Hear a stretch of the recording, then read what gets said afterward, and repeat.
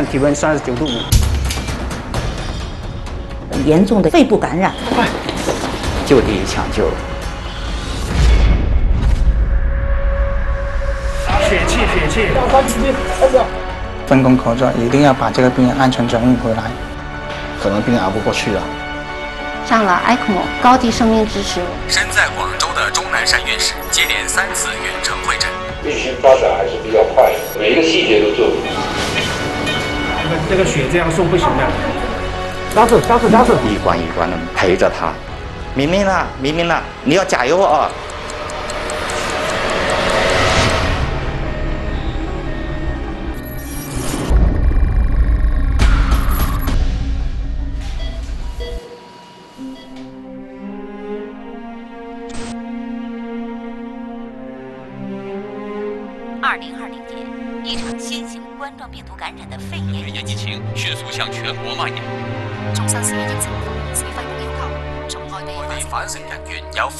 状，立即送医院观察。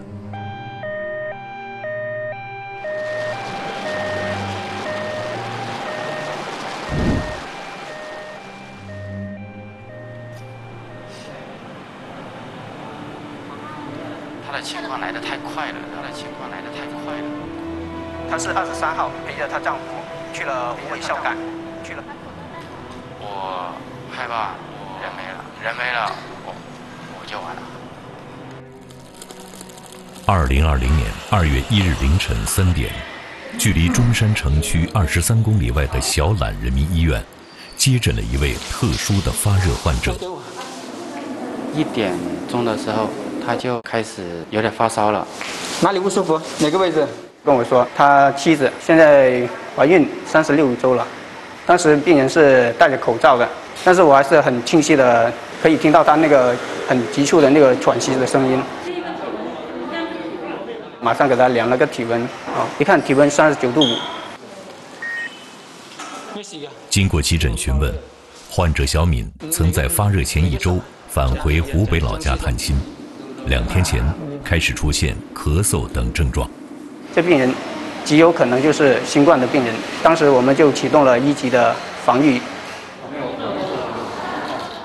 入院八小时后，小敏的病情出现了急剧的变化。他的情况来得太快了，我自己人也受不了了，眼泪就流下来了。中山市小榄人民医院专家组立即对小敏进行肺部 X 光检测，经专家会诊，确认患者是新冠肺炎疑似病例，需要即刻转往中山市新冠肺炎定点收治医院第二人民医院进行隔离治疗。当他就是通知转运的时候，这个病人的就是病情呢急转直下，心率达到一百七十次，并且血压不稳定，感染性休克。严重的一个肺部感染、呼吸衰竭，这样一个缺氧的状态，妈妈很危险。患者的病情分分秒秒都在恶化，专家组发出了就地抢救的指令。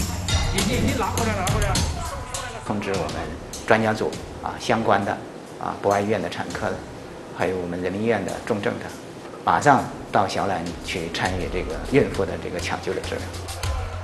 一场与死神的搏斗就此展开。出来了没有？血气，血气。小心在哪里呀？把一袋买好盐水一起拿进去。小榄人民医院不是传染病医院，没有负压病房和负压手术室，在救治条件极不具备的情况下，小榄人民医院倾全院之力，半小时内组建了超过三十人的专家团队，为小敏紧急实行中指妊娠手术。谢晶晶。甚至说她现在呼吸困难，要赶紧剖宫产。拿了 BB 出来之后呢，对于她的耗氧啊会有所降低，那么对于妈妈能够创造一个生存下来的一个机会是有帮助的。现在可能要他要要要往要冲，他怕膀胱损伤啊。终止妊娠手术三个小时后，小敏的核酸检测结果出来了。阳性，她被确诊为中山市第一例新冠肺炎危重症患者，需要转往定点医院做进一步救治。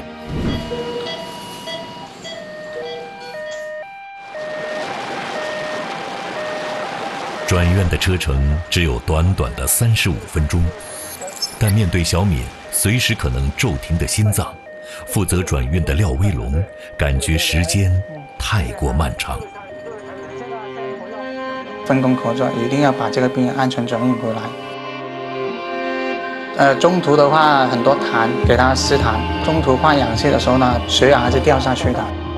当时我们不到三十秒，我就把那个氧气换过来了。我从业九年以来，觉得最经历最深刻的一次。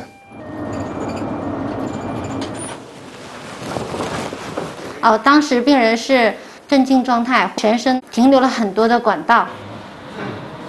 危重患者用到注射泵。用到九个以上都是比较厉害。他当时光注射泵加上输液泵，至少达到十二个、十三个左右。盐酸酚酞尼。杨伟来自中山市博爱医院，有着丰富的危重症孕产妇的护理经验。这次他是主动报名来到抗击新冠肺炎疫情的第一线，于是他就成为了小敏的专职护理员。也就是从这一天开始，小敏的每一场的抢救，每一次的病情起落，杨伟都在小敏的身边陪护。呼吸机参数，这猝不及防的第一场抢救，就发生在小敏转院当晚的凌晨。现在拆线，准备把我已经把生命体征给它录下来。低氧血症没办法改善。我们尝试了很多方法，实时监测他的血气情况，差不多一个小时都要抽一次血。新冠肺炎危重症、急性呼吸窘迫综合症、脓毒症休克、多脏器功能不全、剖宫产术后败血症，基于小米一人之身，任何一条都足以让他的生命止步。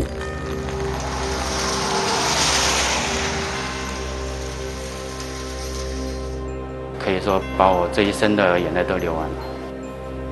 我们从凌晨一点多一直抢救到白天的时候，发现病人的情况越来越差，那就可能病人熬不过去了。参与抢救的是一支由中山九家医院 ICU 精锐抽调组成的专家团队。面对如此复杂危重的新冠肺炎病例，这支精锐之师也难免茫然和困惑。他们唯一能做的，只能是竭尽全力。因为他太新了，那个病没有任何的资料啊、文献啊、经验啊，什么都没有，只能够在临床上不断的发现问题，不断的总结跟不断解决。X 光片显示，小敏的肺部已经变成了大白肺。此刻，也许只有人工肺 ECMO 才能挽救小敏的生命。ECMO 是目前针对严重心肺功能衰竭最核心的支持手段。中山是国内最早拥有 ECMO 技术的城市。上了 ECMO 高级生命支持，我们都已经做完了。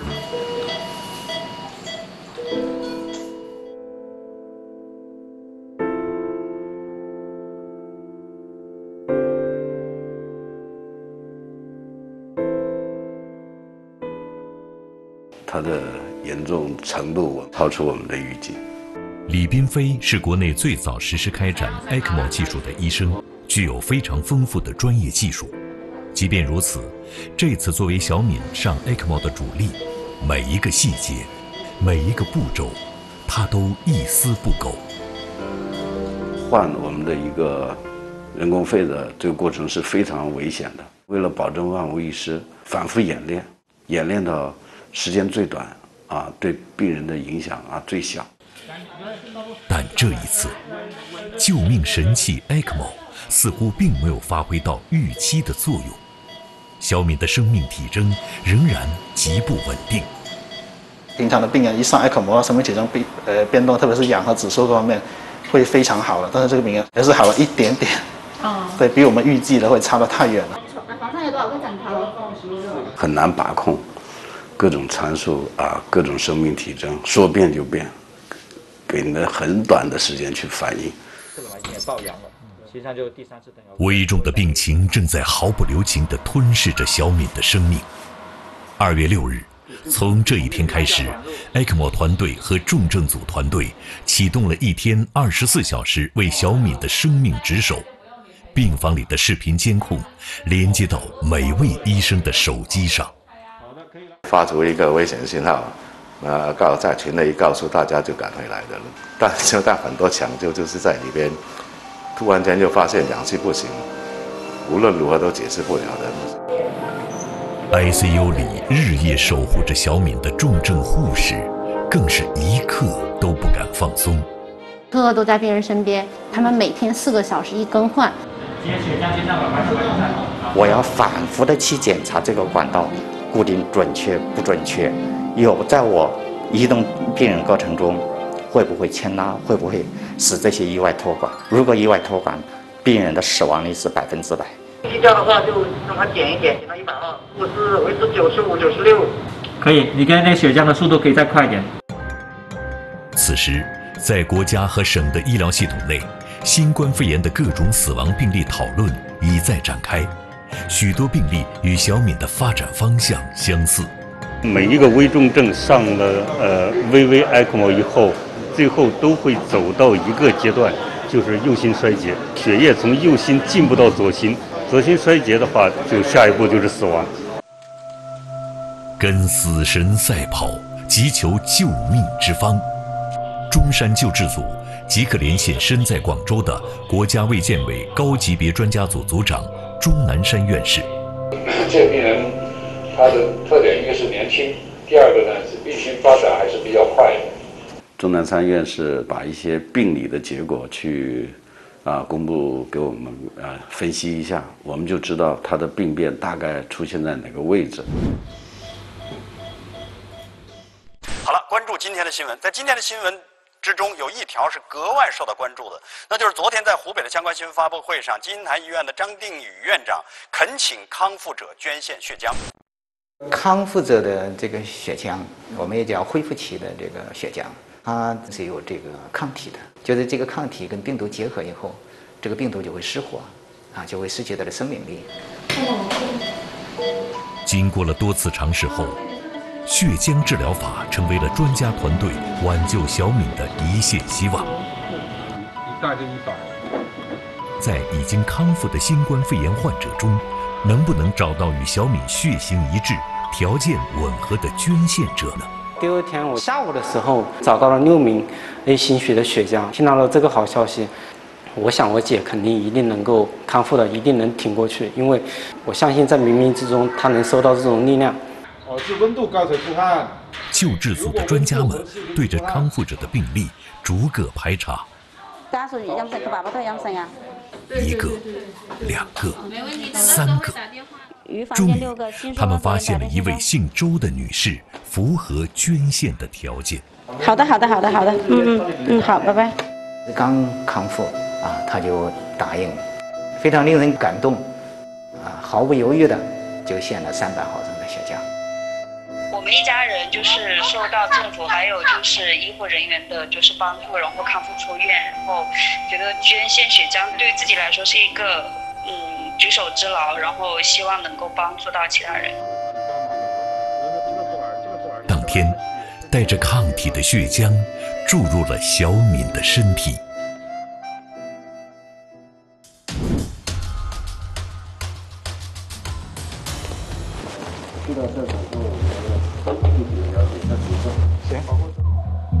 谁也没想到，刚刚注入康复者的血浆，小敏又经历了一场生死搏斗。调气量。由于插管的时长已经达到了极限，小敏必须要接受气管切开手术。这是帮助新冠肺炎危重症患者脱离有窗呼吸机支持的最后一张王牌。前一天，救治组刚刚为小敏做了气管切开手术。谁知到了二月二十日凌晨两点，小敏的心跳却突然停止。明明啊，明明啊，你要加油啊！我们都在坚守你，做其中的做事只是没有错的。第一时间马上抢救，他那个气管切开那个口里面，那血慢慢渗到那个肺里面去了，把整个肺都堵死，啊，就窒息了。所以那时候的所有的参数都非常非常差。救治组的医护人员连夜抢救，紧急征调全市所有能用上的医疗资源。只要有百分之一的希望，就要尽百分之百的努力。我们一一次一次这样把它血块一个个把它冰冻了，把它拿出来。病人的情况一个小时一个小时慢慢在恢复。到了这种情况下，都转成 VA ECMO。VA 的话，它是能够运行一段时间，但是它最终解决不了它肺的问题。那么我看他的肺部并不像，所以这个问题还要高度警惕，说不定会突然变化。要一定的流量就可以了。与此同时，国内知名心脏专家袁勇领衔的团队，在和钟南山院士等人远程会诊后，仍在着力破解右心衰竭的共性难题。这样的话，你都是拖时间。快走到绝路了，我估计整个系统有崩溃的可能。别人能考虑到，我们都考虑到，现在是雪。就是几个小时内，如果你不决定的话，他几乎没路走了。死神正在步步逼近，袁勇只能放手一搏。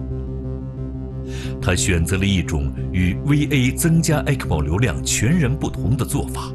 试着把右心的压力减低一点。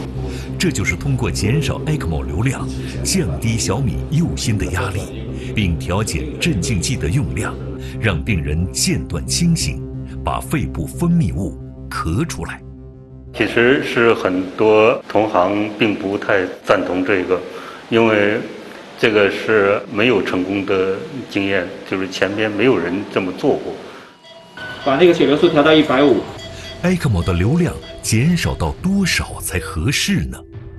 只能一点一点试探。抗膜压现在多少？从二月二十日十一点多开始，袁勇每隔一小时就把 ECMO 流量值往下调一点。终于在晚上七点，找到了那个刚刚好。是我们看的心率从一百三慢慢的降到一百二、一百一、一百多。最后的最成功的地方是，他最后心率降到八十几，所有的参数都是越来越好，右心衰是改善的非常明显。这一次大胆的全新的尝试取得的效果，让已经近乎绝望的医护人员喜出望外。病人清醒了，就是这个节点是给我印象最深刻的。呃，不管是里面的。中东的护士，还当时在外面的，都在那里自发的去鼓掌。与此同时，另一个好消息也传来了，血浆疗法在小敏身上也起到了作用。输进去以后呢，第三天，彭玲玲的病毒呢就转阴了。十四点零八分，呃，常州主任拔出 ECMO 的导管，拔管后心率。七十次，氧饱和度百分之百，呼吸频率二十二次，拔管成功。黄敏敏刚刚脱机了，你们大家要小心了啊！要观察一下潮汐量啊，观察一下他自主呼吸啊，千万不能太强了啊！因为现在没有了，可能只能靠我们的那自己来撑着的了。好的，我们的家长能够上二十一天 ECMO 成功的这个案例，据我们所知，这是全国的第一例。入院抢救二十七天，靠人工肺支撑了二十一天的小敏，终于成功撤机，成为新冠肺炎疫情里广东第一例 ECMO 撤机成功的危重症患者。其实我们都做好了准备，要重新上来准备了，那发现哎，这个准备还有感觉完全用不到，然后就慢慢稳定下来，我们觉得很开心了。今天有一个好消息告诉大家，就是曾经引起全城关注的产妇彭某，已经在昨天脱离呼吸机辅助治疗，成功脱离了危险期。二零二零年三月八日，国际妇女节，对小敏来说，这是她生命重生的节日。因为这一天，她进入了康复期。三月八号的时候，直接停了呼吸机，也是从早上开始，一停了之后，发现病人情况非常非常好，也没有变差的情况，也不需要再次上呼吸机的情况。然后我们觉得，哇，我们终于熬过来了。这一天，一个多月水米未进的小敏，开始尝试喝水。通过喝水来检测他的吞咽功能，印象深刻。刚开始进食水，然后病人就可以一下子喝五到十毫升的水。三月十三日，身在广州的钟南山对小敏进行了第三次远程会诊，讨论小敏转出 ICU 的可能。实际上是在中山动员了中山的所有的力量啊，特别是 ICU 的力量，来共同开展这个治疗。他这个呼吸功能啊，还是解决的比较及时的。插管呢，跟这个用上 ECMO 啊，基本上还是比较及时的。我想这个病人呢是可以离开 ICU 的啊。这个真的是一个奇迹。一关一关的慢慢闯，一关一关的陪着他走，非常的认真去做好这件事。很有成就感。感谢前面的医护人员，谢谢。你一定要加油啊！我们也加油，好不好？好好好的好的，加油。嗯啊，加油。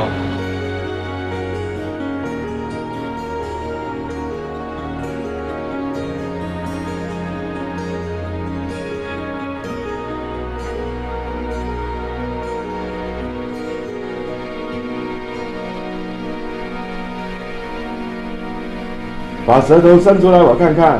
好的，把两个手举高给我看看。哎，进步很大哦，比昨天又进步了。我现在觉得好像你都没什么问题一样。现在病人进入康复期，正好是中医发挥他长处的机会。根据他的这个病情，我们是采取了一个根据气阴两伤理论，照顾他的脾胃。后续的包括心理方面的一些都设计好了啊，包括脱机后的一种锻炼呢，我们觉得都是对患者的啊回归社会还是很有帮助的。这这些病人啊，差不多就像绣花一样，精雕细刻，每一个细节都做。我觉得中山市还是做得非常好啊。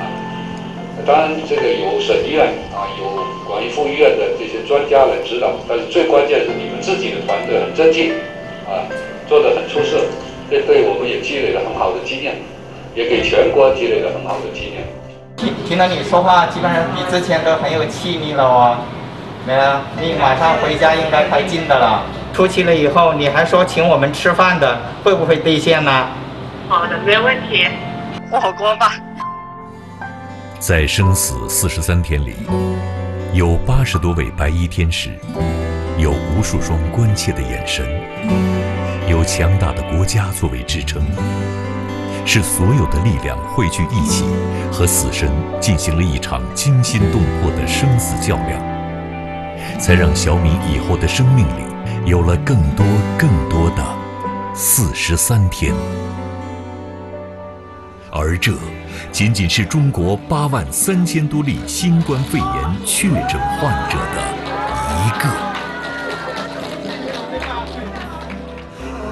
死里逃生吧，医医护人员给我第二次生命，感谢钟南山院士，感谢医护人员，他们从死神把我拉回来了。